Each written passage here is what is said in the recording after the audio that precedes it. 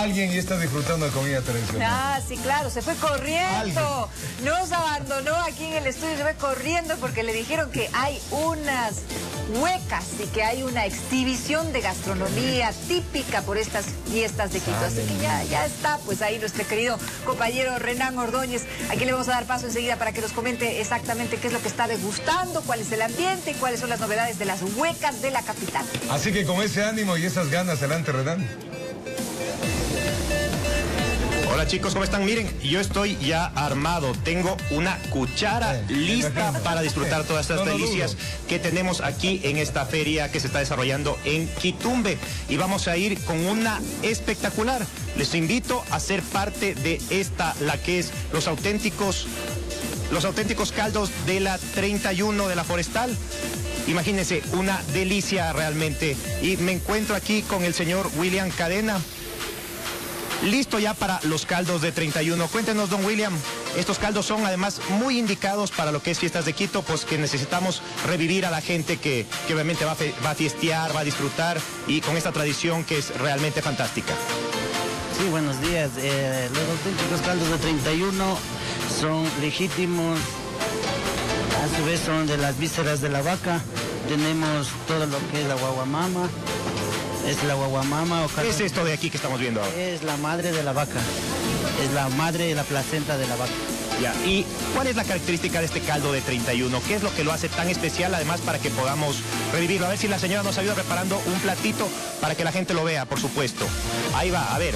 Primero el caldo, por supuesto. A ver, primero el mote. De ahí viene todo lo que es los pedacitos, lo que es la, la toallita o la panza, o la, viene la- el corazón. Ahí hay de todo. Sí, la- Todas las menúes. Todo el menudo. Entonces ahí preparas, viene el caldo, el caldito Qué sabor que se ve, por supuesto.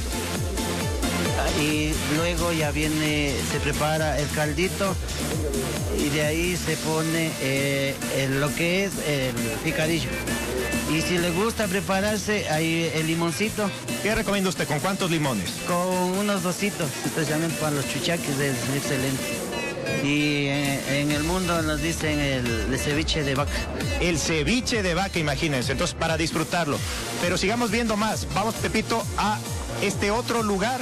Por supuesto, ahora se llama a la Posada del Chagra, donde aquí preparan realmente un plato muy especial que se llama el cocinado chacarero.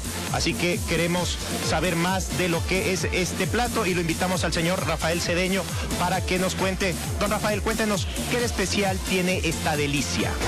Buenos días con todos. Nosotros somos la Posada del Chagra de Machachi. Nosotros tenemos un cocinado chacarero que consiste en choclo, papas, habas, queso, chicharrón y por supuesto el rico queso machacheño y la fritada. Es ideal entonces para disfrutarlo y para que uno pruebe un poquito de todo lo que es estas tradiciones de nuestra serranía. Claro que sí, nosotros lo que ofrecemos es la mejor comida típica de la serranía ecuatoriana, la Posada del Chagra con los tamales chacareros también. Tenemos empanadas de, ¿Tamales de qué son?